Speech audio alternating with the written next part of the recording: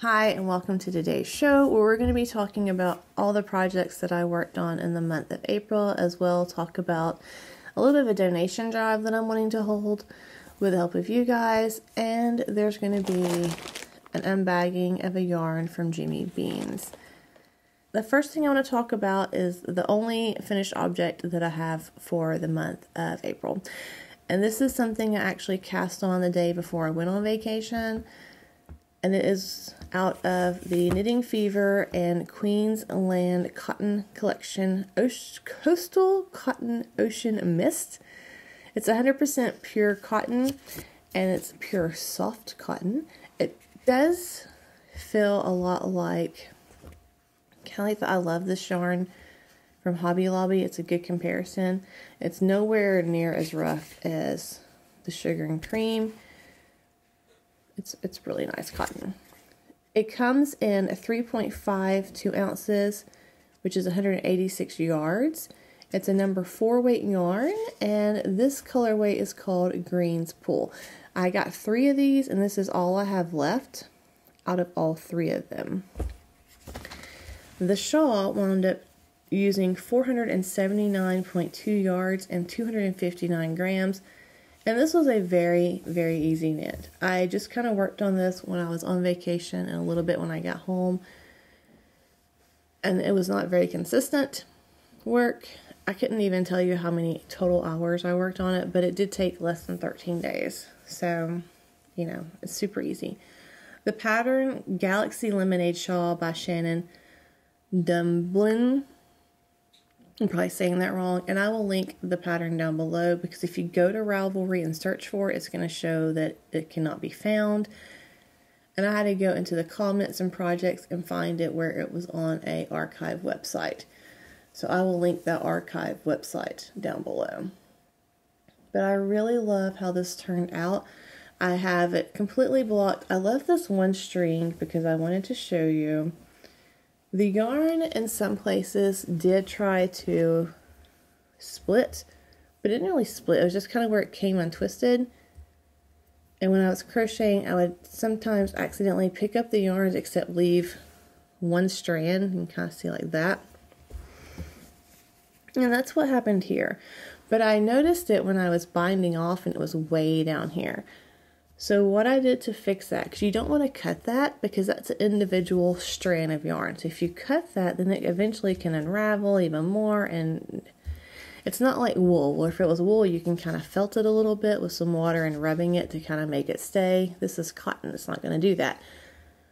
So I wanted to make sure that I caught it with another yarn and that way it would not get caught on anything else and get broken. And you can kind of see where it happened right here. And what I did was I cut a piece of waste yarn, about 14, 15 inches, and I picked up that piece of yarn that was split about halfway in the middle, and then I got one end and went one way and wove it in, and then I got the other end and went the other way and wove it in.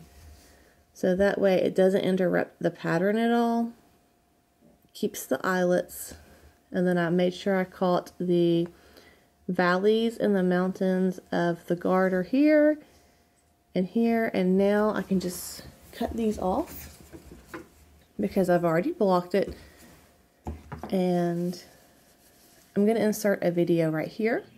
But I wanted to take some pre-blocking measurements. So it is roughly 64 inches long at its deepest point it is roughly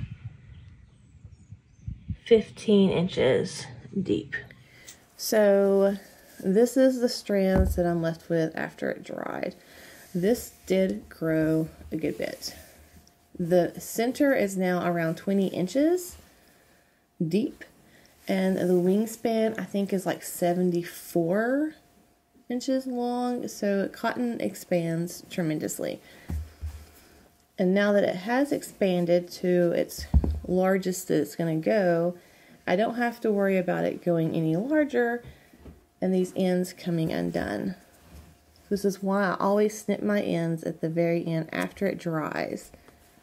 And these are actually pruning scissors, and that's just because they were right there. but they work perfectly. And I'm just going to snip it close to the stitch, careful not to cut any of the yarns on the stitch. It is no longer visible. The only thing you can kind of see is where the yarn's thicker, right there in that garter where I sewn it, wove it in. But that's about it. And that's kind of on the back side of mine. Even though it's kind of just a garter and eyelet, because I did an I-cord bind off, it makes it rounded on both sides, but on one side you kind of get a little bit thicker part, and that's what I consider the front.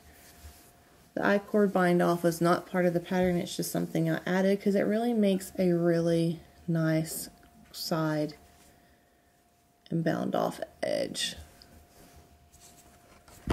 I-cord bind offs are really easy to do.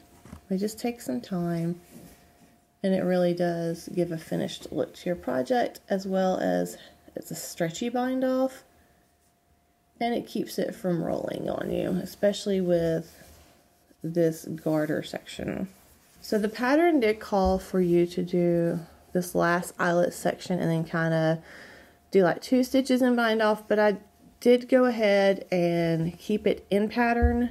And so this was a certain amount of numbers of this. And I just did this one section more or one row more just so that it was kind of balanced. And then I did my I-cord bind off. And the main reason is because I wanted to use as much of the yarn as I could. Because I really, really love this colorway.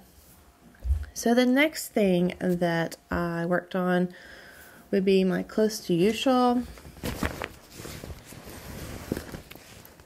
And in that packing video, I talked about how I had made an error and then I ripped out to fix that error. And it wasn't really an error because what I'm doing is actually not even part of the pattern anyways. It's something that I'm modifying. But I forgot to do the eyelet sections across this side and I took out like that much of my knitting. So I did a lot of unknitting on this. And I only kind of got back to where I am. So I went all the way down to here and I have just done this much more.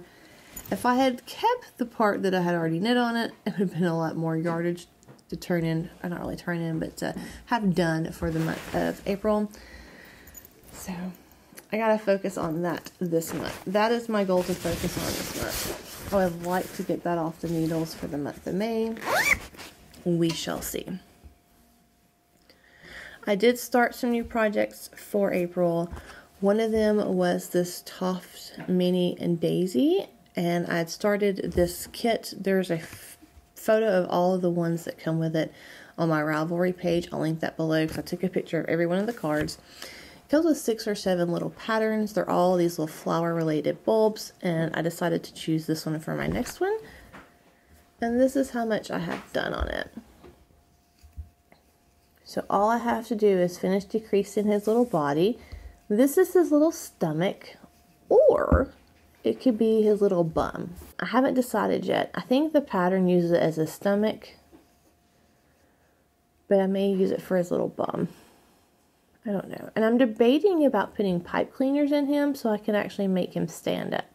The first one of the series that I made was the actual little bulb and he has these little um, roots that come off of him. He doesn't have legs. So I don't know. I'm trying to think when I want to how I'm going to display them in my yarn barn. And I could have him standing up, but to do that, I would need to do something to make his feet so he can stand up. And pipe cleaners or wire in the legs is a great way to do that. So I haven't decided. What do you think? If you think I should make him have posable feet, let me know down below. Also, let me know down below if you think I should do this as his belly and let him have a little belly bulge or if that should be his little booty. So booty your belly and posable legs or not. The cute thing about this pattern is his little petals. You have to make 11 of these. Luckily, Toft did not make them individuals and have to be sewn on because honestly, that would not have happened anyways. I would have figured out a way to pick up the stitches because those are little and that would not be a lot of fun. But they do have you pick up the stitches and make the petals around his little head. So I can't wait to do that so I can really see him come to life. Hopefully I'll be done with him before this weekend. I'm sure I will. Because I also started something else. Go figure.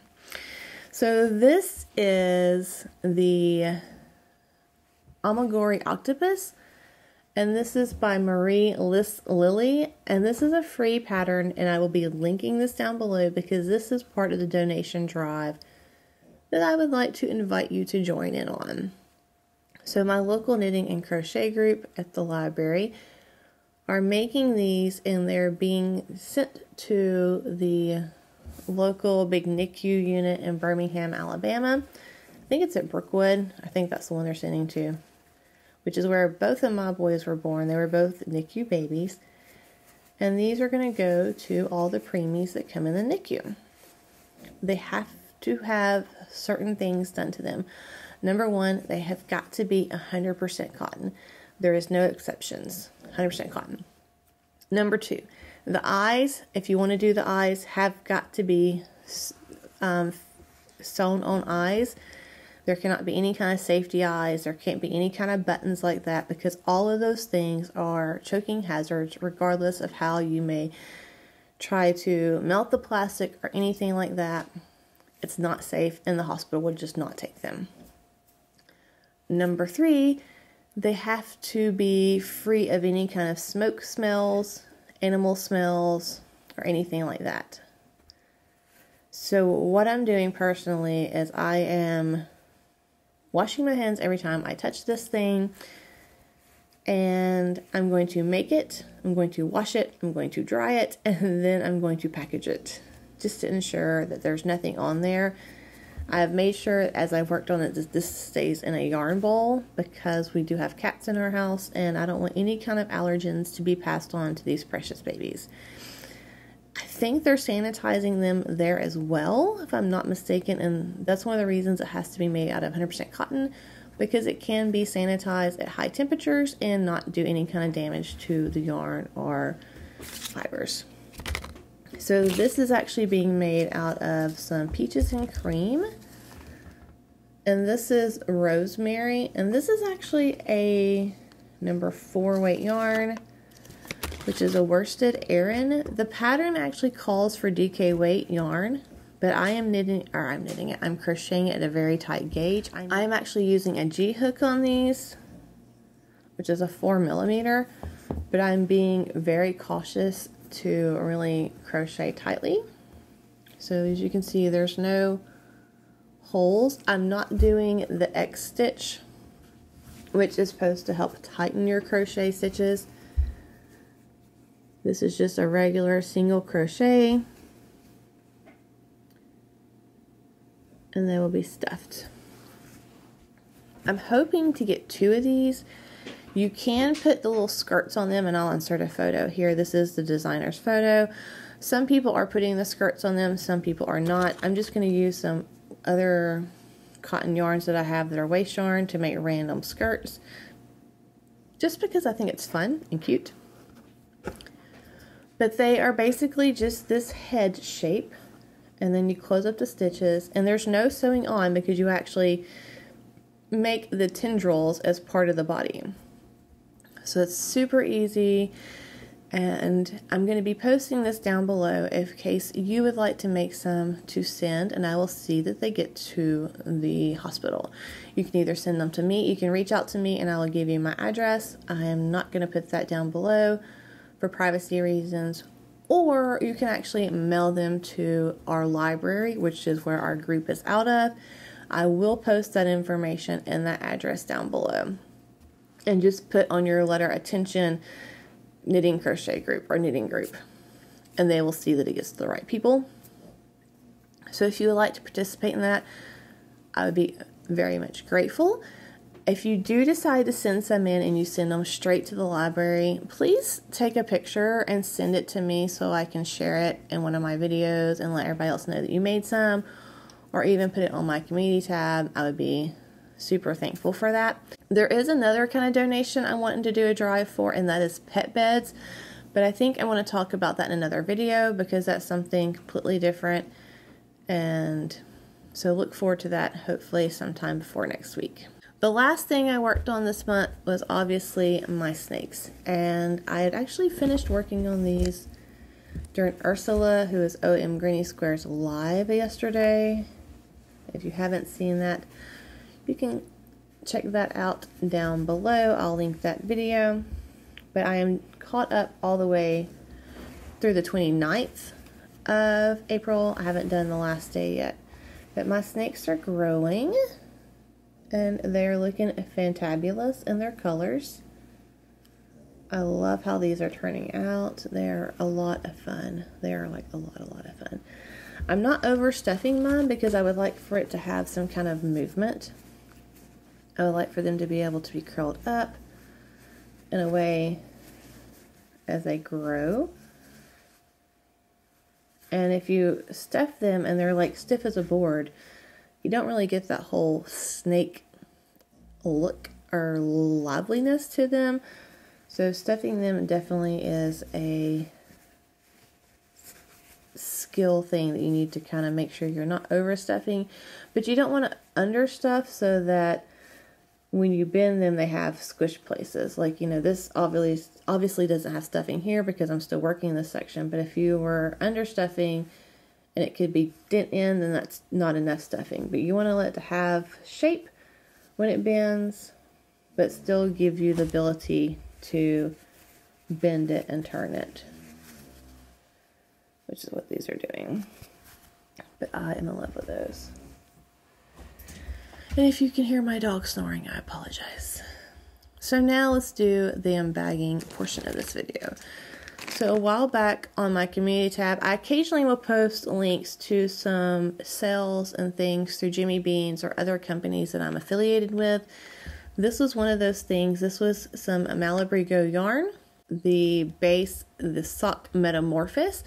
I chose to get color number 322, which is Meraki, think is how you say it. I don't know. I will link that down below. These were a limited series. This color that I am about to unbag only has 13 left, and then some of the other colors only have under 10, and then there's one that has 15 and 32. So I think this is one of the things that once it's gone, it's gone. So if you like this yarn, you may want to head over and grab you some. I will link them down below. They retail 30 They retail $24.50 and they are a fingering weight 100% superwash merino sock yarn. It's 440 yards. It is 100 grams. Because this is 100% superwash merino, I personally would not make socks out of this because I personally like a sock yarn that actually has nylon in it because I think it gives it more durability. But there are many people who use these to make socks and they are fine with that. It's just not something that I would like to invest time in and have to worry about. So I went ahead and ripped open the bag. Oh, that's really pretty. So as you can see, it's kind of a gradient style dye job. I'm sorry that the sun is coming up behind the trees, so my coloring is going a little crazy. There we go. This one has a lot of golds and yellows and some browns. It is applied yarn.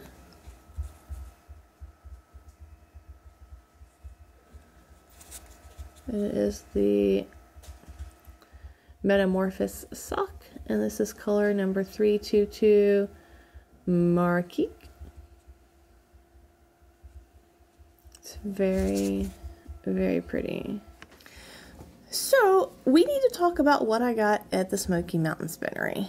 I had mentioned and um, kind of talked about this in the previous video, but I didn't show the colorways to you and I want to do that now. I did show in that video how the copper corgi dyes this collection for the Smoky Mountain Spinnery. It's a four colorway collection. There's a winter, a fall, a summer, and a spring. I chose to get the winter colorway, which is called Winter Wishes. Copper Corgi is a yarn dyer, yarn dyer out of coastal Florida. This is the Savannah Sock Glitzy.